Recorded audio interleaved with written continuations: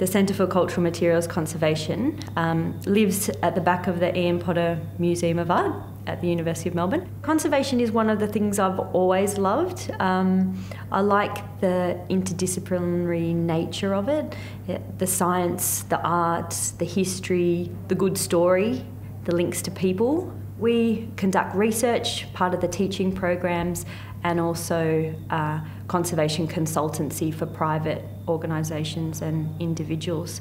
But the majority of our responsibility is teaching programs and conservation of the vast University of Melbourne collections. The centre offers uh, a few different degrees. Uh, most students undertake Masters by Coursework, so that's a two year master's course, and that involves philosophy, ethics of conservation, chemistry of conservation, of course, and the, the good stuff, the hands on treatment and we uh, look to university collections to do the majority of our treatment. So students get to touch real things and also objects from uh, industry cultural institutions within Australia. The teaching programs at CCMC combined the philosophy, ethics of conservation, as well as hands on treatment.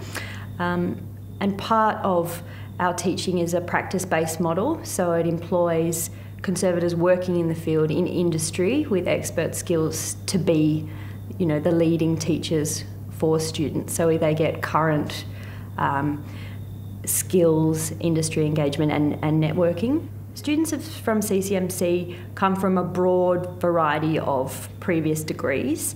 Um, majority we see are art history, of course, or they're artists in their own right. Um, so they've done a visual arts degree, but we've had anything from chemistry to pharmacy, architecture, uh, engineering. Um, so you'd be surprised how, how many uh, undergraduate degrees we would consider to be relevant to conservation in the understanding of materials and techniques and how materials behave.